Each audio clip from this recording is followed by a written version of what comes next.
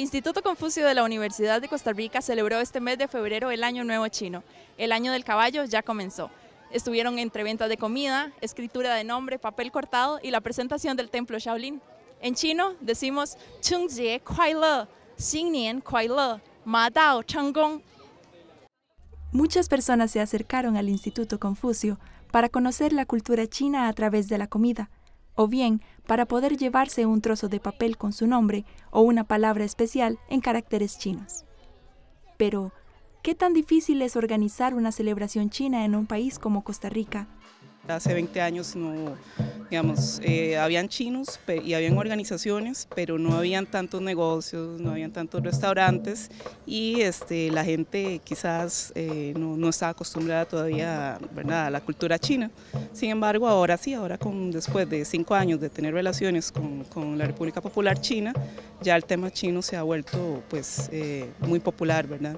Entonces, para poder celebrar el día de hoy, el, Año Nuevo Chino, eh, le dijimos a la gente del templo Shaolin que viniera a, a, hacer la danza de león y que además vinieran a hacer artes marciales, ¿verdad? También le dijimos a una señora de la comunidad china que trajera sus productos, ella tiene una tienda y ella también cocina, entonces ella trajo comida y trajo eh, productos.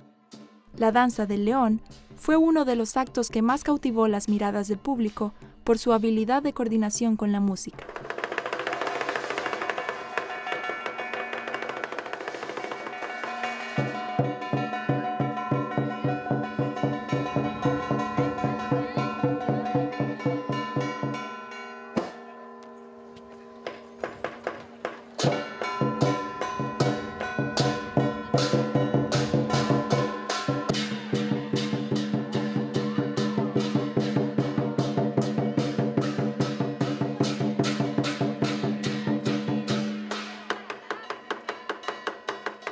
El arte Shaolin también formó parte de la celebración.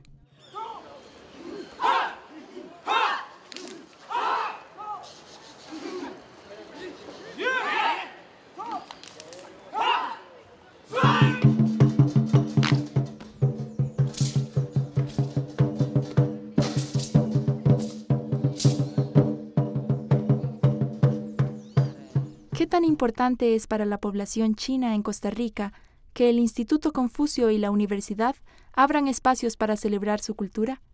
Es importante en el sentido de que los chinos o la colonia china, ¿verdad? En la actualidad en Costa Rica es una cantidad importante de paisanos, ¿verdad? Y es importante que el Confucio divulga todo eso, ¿verdad? Y que se dé la celebración como se debe de ser. Los pequeños de la escuela San Felipe Neri la pasaron bien y nos cuentan que han aprendido de la cultura china gracias al convenio que tiene su escuela y el Instituto Confucio. He aprendido a decir algunas palabras y eh, lao xi ni hao, que significa hola profesor.